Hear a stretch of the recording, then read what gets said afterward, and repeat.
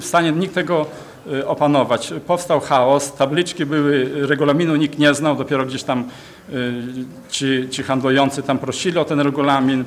Y, Pan Czacharowski pokazał swoją władzę, powiedział, jeżeli nie, nie przystosujecie się do tego, to będziecie usunięci siłą przez policję i straż miejską.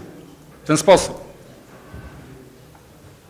A część handlujących, to co mamy robić? Rozpaczliwie się pytali, co mamy robić? My stracimy pracę. Odpowiedział, a róbcie co chcecie. Proszę Państwa, czy tak urzędnik, wysoki urzędnik samorządowy może w ten sposób odpowiadać dla ludzi, którzy, którzy y, pracują, miejsca pracy to są ciężkie miejsca pracy, latem zarówno i zimą. I, i w tym kierunku takie stanowisko y, pana burmistrza zamiast załagodzić, zamiast normalnie rozmawiać, negocjować, to on jeszcze w ten sposób powiedział, jak radny Jerzy Kunda głosował, tak macie odnośnie regulaminu, w ten sposób. Ja reprezentowałem, proszę Państwa, całą Radę. Byłem o to poproszony.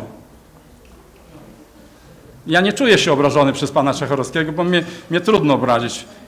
Za dużo już przeżyłem, żeby się obrażać, ale uważam, że w ten sposób obraził pan Radę Miejską w Giżycku.